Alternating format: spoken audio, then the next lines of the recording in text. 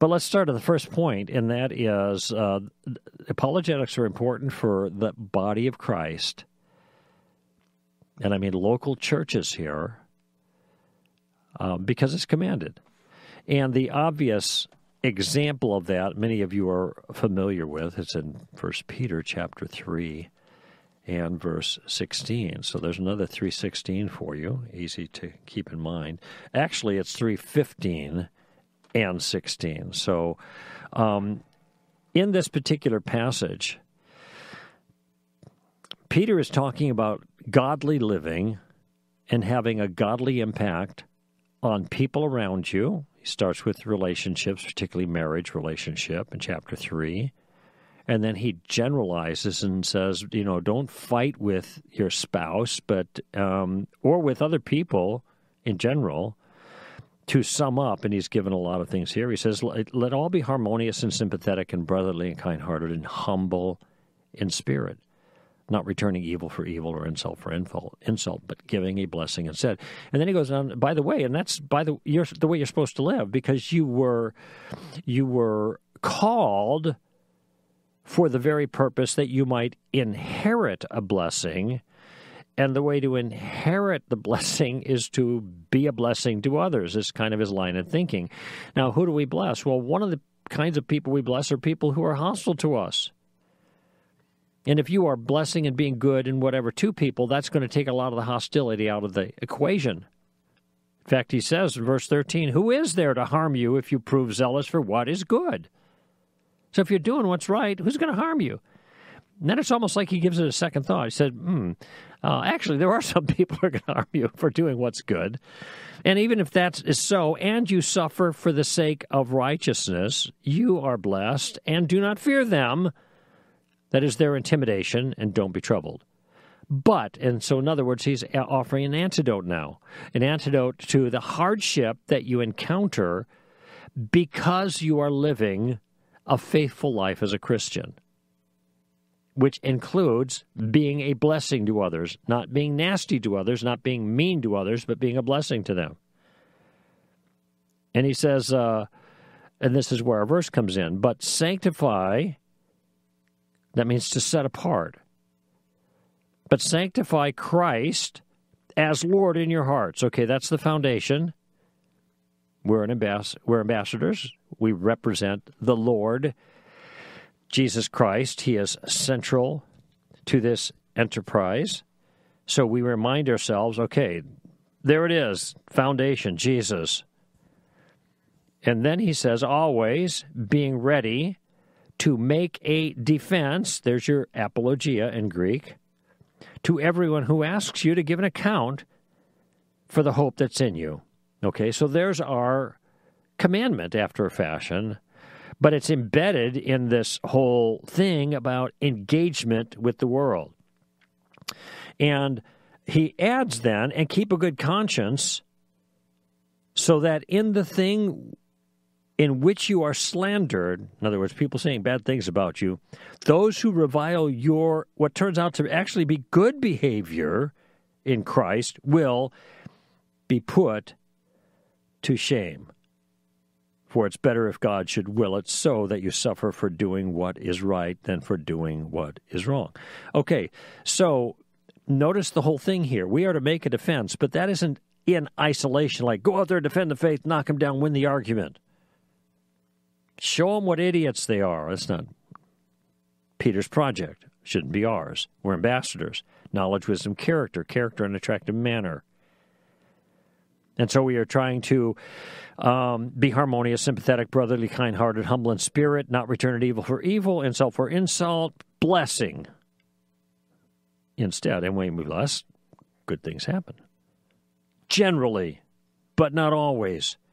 And sometimes we get pushback. And so, how do we respond?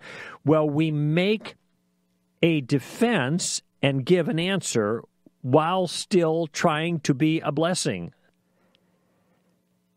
and keep a good conscience, so that in the thing which you are slandered, those who revile your good behavior may be put to shame. So we show them that we are not going to answer in kind. We are going to do things differently than they're doing. And by doing it differently, it shames them. So we are making a defense, but we are making a defense in a way that continues to be a blessing and shames the opponent. Given their accusations against us, when actually it turns out we're doing well, we're acting properly, we are being gracious in the process, we are keeping a good conscience, and we are willing to suffer if that be what God intends. And First Peter is all about that by doing what is right rather than the opposite, doing what's wrong, defending the faith in a jerky fashion.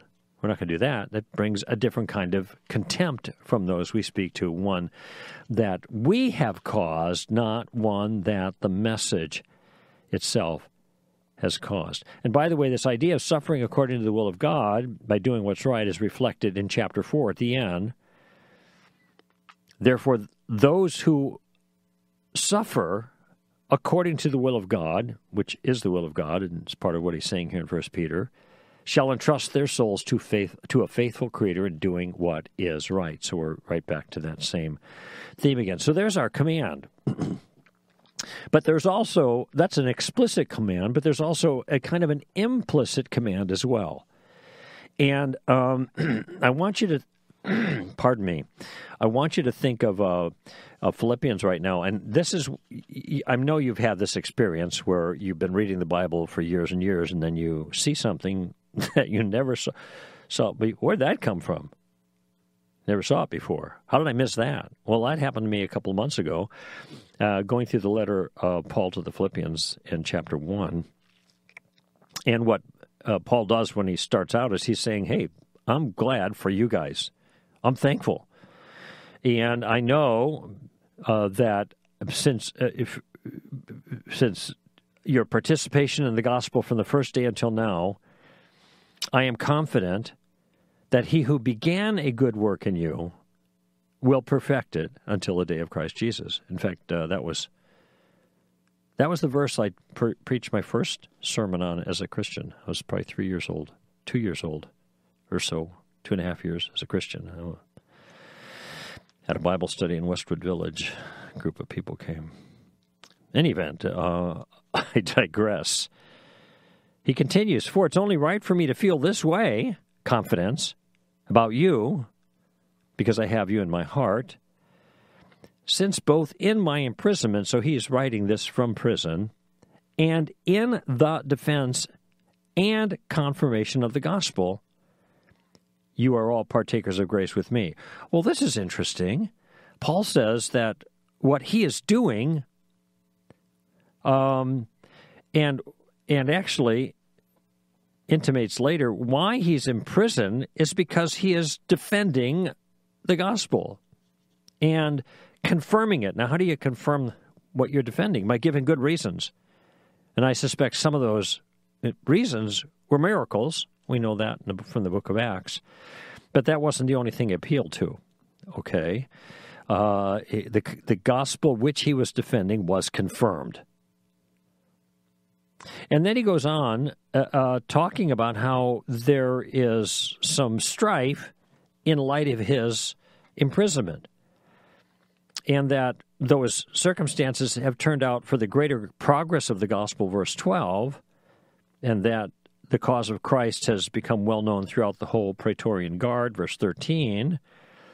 And most of the brethren, trusting in the Lord because of his imprisonment, are now moving about and speaking more courageously, which surprises me a little bit. Because Paul's in prison, now they're more courageous. Interesting.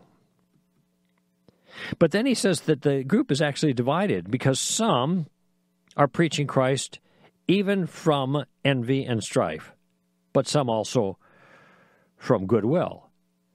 And so some are trying to cause him trouble, and so they're competing with Paul. Paul and Paul can't, in a sense, defend himself much because he's in prison. So there's competition out there. But he says there's others that have a good attitude.